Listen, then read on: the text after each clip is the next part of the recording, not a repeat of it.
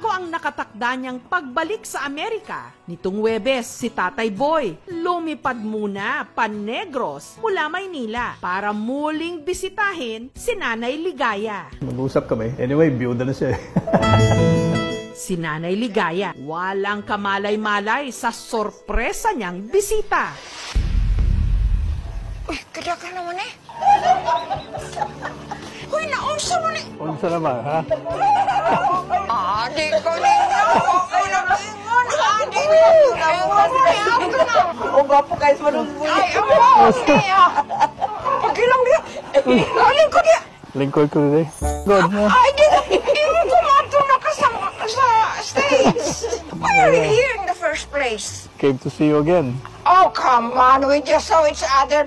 No, I came to see you again. That's Ay, why I'm so here. you're supposed to go to back to the US. Not That's yet. what you told Not me. until I see you again. Yeah, waka mali pa. I, I came back to see you again today. Nahadlo ko. So, eh, kadlokal ni mo. Eh? Kay dili kay mga gulang na ta. No. Age does not Oh, matter. come on. Plays a part.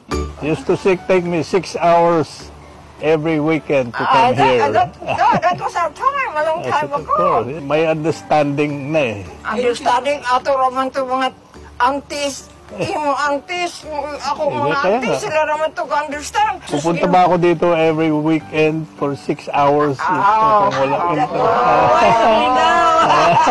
It's six hours Yeah, each way. because your relatives are here. No. Ay talagang may itsura siya.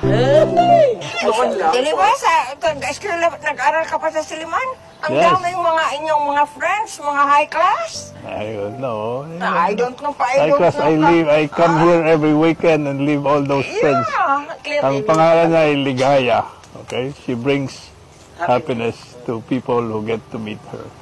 Ah, and me, even more. Pero hindi ako nagsabi, kahit minsan. Oh, hindi, hindi. Pero ngayong byuda na si Nanay Ligaya at hiwalay na sa asawa si Tatay Boy, may pag-asa pa nga bang maging sila? I always liked you, that's why I came here.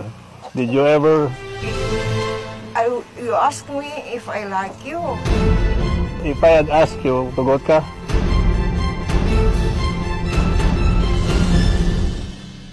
Before.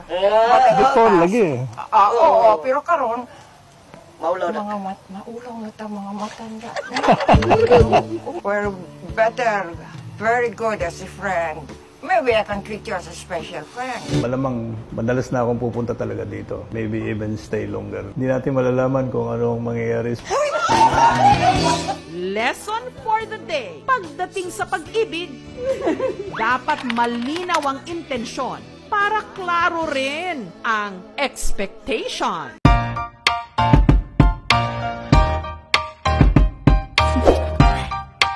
Do you want to know?